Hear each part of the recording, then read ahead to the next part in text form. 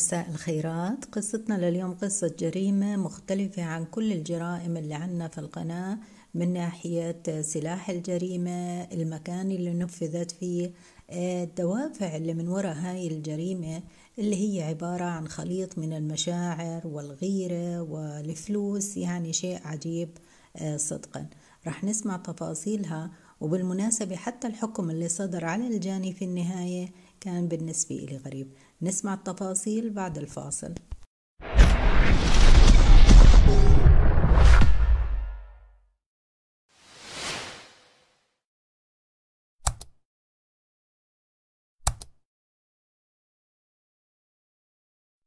قصتنا صارت بتاريخ 10 أكتوبر من العام 2013 وفي مدينة معروفة من مدن الولايات المتحدة الأمريكية واللي هي سان أنطونيو من أكبر مدن تكساس من ناحية عدد السكان وأيضا من أكبر مدن الولايات المتحدة من ناحية عدد السكان تقريبا رقم سبعة بحسب طبعا المصادر مش معلومات من عندي.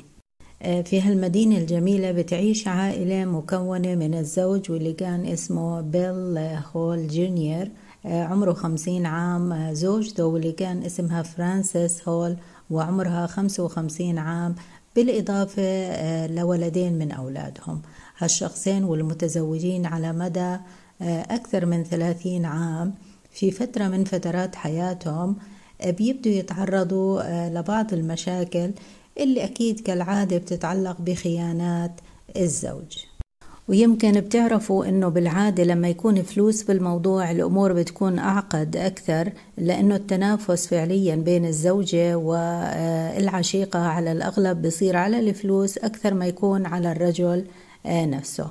هالشخص واللي هو بيل هول عنده أسطول من الشاحنات ويقال إنه ثروته بهذاك الوقت كانت تقدر ب 15 مليون دولار. بيل بدأ حياته العملية بشراء شاحنة واحدة في عام 1980 وبعد هيك تطورت الأمور لما صار عنده أسطول كامل من الشاحنات ويقال إنه أصلا من أكثر ال business اللي كان ناجح في هالمجال في منطقة سان أنطونيو. هلأ خلال هاي المرحلة مين اللي كان موجود معه؟ أكيد هي زوجته وكانت تدعمه بكافة الوسائل. فجأة بتظهر في حياتهم سيدة أو فتاة عمرها 28 عام اسمها بوني كونتريراس وبتنقلب حياتهم رأسا على عقب. بحسب كلام بوني فعلاقتها بهالشخص استمرت على مدى ثلاث سنوات وأنه هي ما كانت تعرف أنه متزوج إلا بعد شهر كامل من العلاقة. هلا هو شخص ثري وبيبدأ يدللها بتعرفوا الأثرياء لما يكون عندهم عشيقة بيكرموا عليها أحيانا أكثر من الزوجة وبيبدأ يدللها بفلوسه بطريقة أصلا هي لو كانت بدها تنفصل عنه صعب إنها تنفصل. بقدم لها الهدايا الرحلات ال five star وبتعيش حياتها بوضع أو مستوى مادي ما كانت تحلم فيه أصلاً. هلا هي بتدعي إنه علاقتها فيه كانت علاقة حب وما إلها علاقة بالفلوس نهائيا. وبتحكي إنه في مرة من المرات سألته لما عرفت إنه متزوج هل أنت متزوج؟ بيحكي لها نعم وإنه أنا ببحث عن الطلاق لكن بتحكي بعد هيك أنا ما رجعت فتحت معه الموضوع نهائيا لأنه أصلا يعني مش مناسب إلي إني أفتح هالموضوع ومش دوري إني أسأله في قصة زي هاي وآي داوتت يعني أنا متأكدة إنها هي كانت مصرة عليه على موضوع الطلاق. في المقابل المصادر الأخرى بتحكي إنه مستحيل هالشخص واللي هو بيل كان يفكر بطلاق زوجته اللي هو متزوجها من لما كانوا بال high school وتقريبا لهم 32 عام متزوجين وعلاقتهم كانت رائعة جدا. المحيطين فيهم بيحكوا إنه هي إنسانة رقيقة مهذبة والكل كان يحبها في المجتمع اللي هي بتعيش فيه. وفي مصادر بتحكي إنه هو تورط في هاي العلاقة لفترة مع بوني وحاول يتخلص منها لكن ما كانت الأمور سهلة. ليش ما كانت سهلة؟ لأنه هي أخذت له العديد من الصور. بتعرفوا في أوضاع حميمية وهالشي ممكن إنها تنشره كانت تهدده فيه بحسب بعض المقربين. لهيك هو كان حاسس إنه لازم يجاريها لمرحلة معينة. هاي السيدة دخلت في تفاصيل حياته لبل وعرفت الكثير من أسرارها لدرجة صار صعب أنه ينفصل عنها. وبالمناسبة هالشيء خطير جدا. ممكن يكون عنده أسرار في البزنس ممكن يكون عنده أسرار في حياته الخاصة. أحيانا الرجال بيسروا بهاي الأمور للعشيقات وأكيد هالشيء خطير. في النهاية هو صار غير قادر على التخلص منها مش لأنه بحبها بحسب كلام المحيطين لا لأنه خايف منها. وفعلا في مرة من المرات بوني بتتواصل مع الزوجة فرانسيس وبتخبرها عن تفاصيل العلاقة اللي بينها وبين زوجها. وهنا بتبدأ حرب المسجات بين هالسيدتين واللي هم بوني وفرانسيس. بيبدوا يبعثوا لبعض مسجات مكالمات. وبتعرفوا السيدات لما يكونوا في حالة emotional زي هيك شو ممكن يحكوا ويكتبوا يعني كان الوضع أكثر من سيء. وطبعا هاي المسجات يقال إنها كان فيها لانجوج صعب بتحكي فيها بطريقة سيئة مع الزوجة بما معناه إنه انت سيدة متينة سيدة عجوز فارغة من الداخل لهيك زوجك ما بيحبك وبيحبني أنا الفتاة الشابة وكل هاي الأمور السيئة. غير هيك يا ريت توقف الموضوع عند المسجات. الموضوع كان أكبر لما بدأت تبعت مجموعة من الصور إلها مع زوج فرانسيس في أوضاع حميمة وحتى فيديوهات. وإلكم تتخيلوا هلا ردة فعل الزوجة والحالة العاطفية اللي دخلت فيها. ولما سألوها إنه ليش بتعمل هيك بتحكي أنا كنت أدافع عن نفسي وأرد على هاي الزوجة اللي في المقابل أيضا كانت تستعمل ألفاظ سيئة معي وأنتوا أحكموا أنا برأيي العشيقة اللي بدت المشاكل.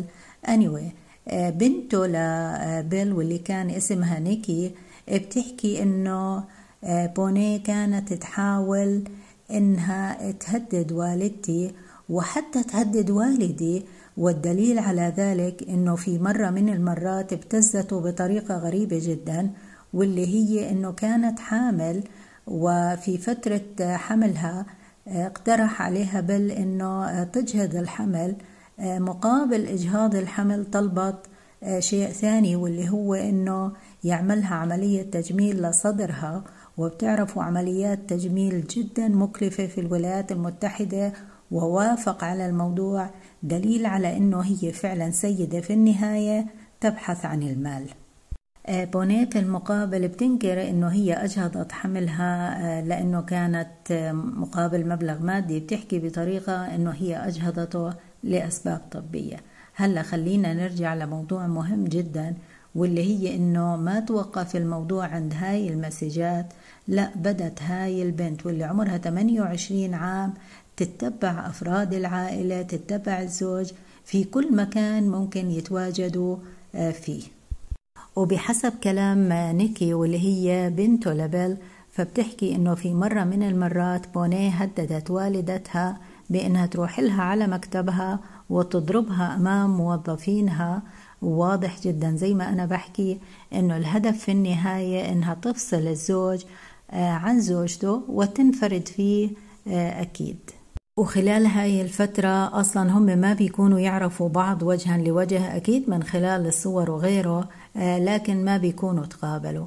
بتاريخ 13 أكتوبر من العام 2013 الحظ هو اللي بيلعب دور أو الصدفة ما بعرف. بيلتقوا هدول السيدتين على طريق بسموه 1604 هاي واي في منطقة سان أنطونيو. وإحنا بنحكي عن مدينة كبيرة جدا شوفوا الصدفة كيف جمعتهم. إذا كانت الصدفة والله أعلم. فرانسيس بتكون تحضر مباراة كرة طائرة لبنت أخوها أو بنت أختها وراجعة من هاي المباراة وبتوقف على إشارة ضوئية في سان أنطونيو وإحنا بنحكي عن مدينة ضخمة جدا. هنا بتشوف زوجها الوسيم بيل على دراجة Harley وسيدة أخرى بتركب سيارة العائلة ال Range Rover واللي يقدر قيمتها ب 130 ألف دولار. تخيلوا الصدمة اللي هي فيها. هاي السيارة تخصها وتخص عائلتها وفي سيدة أخرى بتركبها. آه، بوني بتحكي إنه بهديك اللحظات نظر إلها آه، بيل وحكى لها إنه بحبها في المقابل هي ردت عليه وحكت له إنها بتحبه. أكيد هو مش شايف زوجته بهديك اللحظة. ولما تحولت الإشارة لخضراء بينطلق الجميع. نيجي للزوجة واللي هي فرانسيس بتحكي إنه بهديك اللحظة أنا شعرت إنه زواجي اللي عمره 32 عام بينهار أمامي. وزوجي اللي كان هو كل شيء في حياتي آه، هو الآن مع سيدة أخرى. وشفت كل الدنيا سواد وبطلت أفكر بأي طريقة صحيحة. بتقرر إنها تعمل U-turn وتتبع هالسيدة اللي راكبة سيارة العائلة. فرانسيس واللي كانت تقود سيارة ضخمة black Cadillac Escalade بدأت تتبع هاي السيدة اللي راكبة سيارة ال Range Rover وبحسب كلامها إنه أنا عرفت إنها هي عشيقته وقررت فقط آه، إني أواجهها. في المقابل آه، بوني بتدعي إنه لا هي مش كانت بس تتبعني حتى تحكي معي لا هي كانت تضرب سيارتها بسيارتي. أكيد كان هدفها تقتلني. وبستمر هالسباق الغريب وبونيه بتدعي إنه خلال هاي الفترة هي صدمت سيارتها اللي هي فرانسيس صدمت سيارتها تقريبا 14 مرة. هلا اللي بصير إنه بيل واللي هو الزوج شايف كل هاي الأحداث ويبدو إنه بيحاول يتابعهم ويوصل معهم لنتيجة يمكن يهديهم. ما بعرف كيف كان خاطر عباله إنه يتبعهم في النهاية. فجأة بتضرب سيارة آه، فرانسيس واللي هي الزوجة آه، بدراجة الهارلي. وتخيلوا أنتوا الوضع آه، سيارة ضخمة بتسير بسرعة كبيرة جدا تضرب دراجة على الطريق السريع. أكيد رح يكون الوضع سيء. هلا في مصادر أخرى بتحكي إنه ما كان الوضع زي هيك أبدا؟ بوني هي اللي كانت تدوس بنزين أحيانا ترجع وتدوس brake وكأنها بتستدرج هاي السيدة واللي هي فرانسيس حتى تتبعها. خلال هالرحلة العجيبة الغريبة الحادث بصير مع الزوج واللي هو إنه دراجته آه يعني بتتجاوز الطريق على طول بيتواصلوا آه مع 911 ولما يوصلوا بيكون في حالة سيئة جدا. يقال إنه هنا السيدتين لما عرفوا إنه هو تعرض لحادث خلاص بدوا يهدوا وبيرجعوا على مسرح الحادث. وأثناء وجودهم في مسرح الحادث بيكون أكيد موجودين رجال الشرطة بينتبهوا على سيارة فرانسيس إنه في عليها بعض يعني الكدمات. لا السيارة ما بيكون عليها كدمات ضربات. بيكون عليها بعض الضربات. والمرآة الخلفية إلها مش موجودة.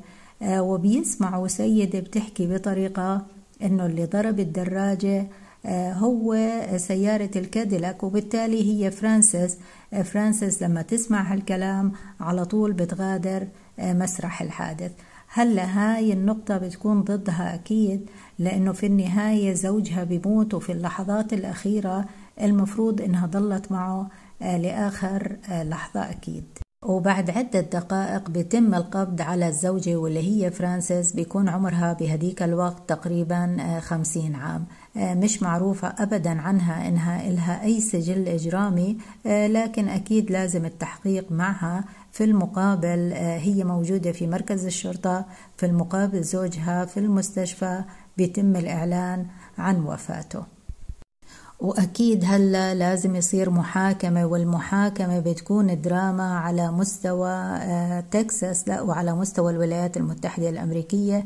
كل واحدة فيهم بتحاول تثبت إنه هي كانت تحبه لبل ومستحيل كانت تفكر في إيذائه.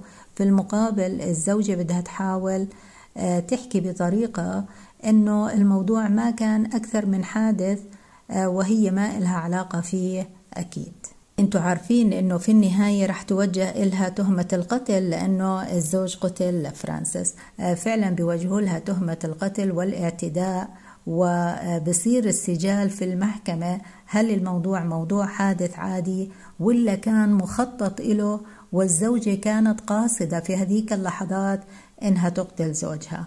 المحامي الخاص بفرانسيس بيحكي بطريقة إنه الموضوع كان مش أكثر من حادث. هو كان يتبعها بدراجته يحاول يتواصل معها يحكي معها. فجأة الدراجة آه، إجت أو ضربت في خلف سيارة الكاديلاك. وبتعرفوا يعني اثنين سريعين لهيك صار الحادث انقلبت دراجته وتوفى. في المقابل بوني بتحاول تثبت إنه لا الموضوع كان مقصود وإنه هي كانت قاصدة إنها تضرب الدراجة. وأكيد أنتم عارفين ليش المحامي بيحاول يظهر الموضوع على إنه آه، حادث لأنه إذا ثبت آه، إنه جريمة متعمدة فهي راح تحصل على الحكم بالسجن آه، مدى الحياة. المهم بينتبهوا لقانون مهم جدا في منطقة تكساس بسموه sudden passion. شو هو؟ أو العواطف المفاجئة. هالقانون بيحكي إنه إذا صارت جريمة آه، ناتجة عن عواطف هيك فجأة كلها تهيجت. الحكم بيكون مخفف جدا يتراوح بين سنتين وعشرين عام. بيعطوا أمثلة على هالقانون أنه مثلا أحد الأزواج شاف زوجته في علاقة آه، حميمة مع شخص غريب. هنا إذا قتلها تعتبر جريمة sudden passion وبيكون حكمه آه، مخفف. ما بعرف أنا هالنوع من الأحكام بذكرني بجرائم الشرف آه، في بعض الدول العربية واللي تقريبا ألغيت في معظمها. على كل حال آه، بينجح المحامي في هاي المحاولة ويحكم على فرانسيس بالسجن لمدة عامين فقط. المحاكمة بتكون عاطفية جدا. فرانسيس بتبكي بطريقة over وبتطالب هيئة المحلفين إنهم ما يحكموا عليها بحكم مشدد آه، لأنه هي بتحب زوجها جدا وما كانت آه، ممكن تفكر إنها تقتله. وبتعرفوا التفاصيل العاطفية آه، كيف إنه هاي العشيقة كانت تحاول تستفزها وإلى آخره. في النهاية كانت قادرة على التأثير على هيئة المحلفين وأعطوها حكم بسنتين فقط لأنه على الأغلب يقال أنه آه، هو حادث مش أكثر يعني ما كانت تخطط لقتل زوجها. هلا بوني بتحاول تثبت العكس والدليل على ذلك إنه بتحكي هي تلقت مسج بعد ما صار الحادث مباشرة من بنتها لفرانسيس بتحكي فيها إنه أنا حذرتك وانت بما معناه ما كنت عارفة اللي راح يصير وفي النهاية هاي اللي صار حاولت تستخدمها لكن تستخدم ال message لكن كانت محاولة فاشلة. آه، خلال وجودها في السجن بيعملوا معها مقابلة مجموعة من الصحفيين آه، وبتحكي بطريقة كثير emotional عن زوجها إنه هي كانت تحبه آه، كانت علاقتها رائعة فيه. لما تسألها واحدة من الصحفيات إنه كمان هو كان يحب بونيه بتنكر تماما وبتحكي إنه هو كان يتحاول يتخلص منها. ودليل على ذلك إنه هي لما حملت آه، طلب منها إنها تعمل عملية إجهاض دليل على إنه هو ما بده علاقة مستمرة معها وما كان يفكر في طلاقي ابدا. أيضا بتحكي إنه هي خلال فترة المحاكمة طلبت من المحامي الخاص فيها إنه ما يستخدم أي لفظ سيء عن زوجها. آه، صحيح إنه خانها على مدى ثلاث سنوات واصلا يقال عنه إنه هو كان عنده عدة خيانات سابقة وهي كانت تتقبلها. في النهاية طلبت من المحامي إنه ما يتحدث بأي كلمة سيئة عن زوجها دليل على إنه هي فعلا بتحبه. هلا لما يسألوها إذا كانت مذنبة أو لا هي بتحكي أنا مذنبة بشيء واحد واللي هو إنه أنا أخذت اليوتيرن ورجعت اتبعت هاي السيارة. لكن أنا أبدا ما قتلته. الموضوع مش أكثر من حادث وإنه آه، أنا في النهاية هو اللي دفع الثمن. خسرت زوجي ما راح يرجع لحياتي. بعد سنتين أنا راح أترك السجن لكن راح يضل داخلي شعور بالذنب إنه أنا كنت سبب آه، في مقتله. في المقابل العشيقة بتحكي بطريقة إنه لا هي كانت قاصدة آه، إنها تقتل زوجها لأنه بتعرفوا سيدة حست بالخيانة حست بالإحراج. آه، زوجها الآن موجود مع سيدة أصغر منها بالعمر. فأكيد صار عندها نوع من الغضب. هو اللي قادها لأنها تقتل زوجها بهاي الطريقة. والدليل على ذلك إنه لما كان يموت في اللحظات الأخيرة هي تركته وغادرت المكان. أيضا بتحكي إنه هي راكبة سيارة أسكليد وبتعرفوا هاي السيارات الضخمة. آه، سهل إنك تشوف الناس اللي حواليك من مختلف الجوانب. دليل على إنه هي كانت شايفة دراجة الهارلي وزوجها عليها. بينما هي فرانسيس بتدعي إنه أصلا هي ما كانت عارفة إنه زوجها بيتبعها وتوقعت إنه بركن في واحد من الأماكن القريبة. هلا مين فيهم الصادقة؟ الله أعلم. آه، في نقطة مهمة ما بحب أنساها واللي هي إنه بوني العشيقة طالبت بمبلغ 2.5 مليون دولار آه، كتعويض عن الحالة العاطفية اللي دخلت فيها آه، بسبب الملاحقة اللي صارت إلها على الطريق السريع. بتحكي إنه أحيانا أنا بكون أسوق سيارتي وفجأة بصير خايفة وفي حالة نفسية غير عادية ويمكن هاتنين ونص مليون دولار يعني يهدولها خوفها. آه والله أعلم. وهلا انتهت قصتنا تقريبا؟ بس عندي مجموعة من التفاصيل. أثناء وجودها في السجن بيكون عندها محاولة للاستئناف. المحامي الجديد واللي كان اسمه آدم كورتيز بيحكي بطريقة إنه المحاكمة ما كانت صحيحة والمحامي ما كان جيد.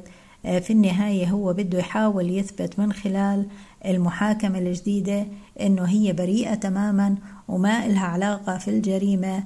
آه، وإنه المحامي السابق ما استخدم عدد من الشهود اللي يثبتوا هالكلام وكانت محاولاته فاشلة. وفرانسيس أمضت عامين كاملات في السجن وتم إطلاق سراحها بتاريخ 7 سبتمبر من العام 2018 ويمكن من أكثر الأمور اللي كانت مؤلمة بالنسبة إلي هي محاولة الابن ابنها لفرانسيس واللي كان اسمه جاستن أثناء المحاكمة وما بعد المحاكمة أنه آه، يخلي والدته غير مستفيدة من آه، الأمور المادية اللي تخص الزوج آه، بسبب الجريمة اللي نفذتها وكأنه هو بيحاول يكون المستفيد هو وأخته فقط لكن طبعا محاولاته باءت بالفشل. وصراحة أنا حابة أعلق هالمرة لكن يعجز اللسان فعلا يعني على شو ولا شو الواحد بده يعلق. في النهاية رجل في الخمسينات يعمل علاقة مع فتاة في العشرينات. أكيد رح تكون نهايتها كارثية. بدت تهدده بلحظات هو قضاها معها. معتقد إنه هي لحظات جميلة. هي كانت تترصد له وتسجل له كل هاي اللحظات حتى تستخدمها في المستقبل آه، ضده. في المقابل الزوجة سكتت عن خيانات زوجها لفترة طويلة وفجأة وصلت لحد الانفجار آه، وتصرفت بهاي الطريقة. كان ممكن تكون النتائج أسوأ يعني كان ممكن هي تعمل حادث وتموت خلاله.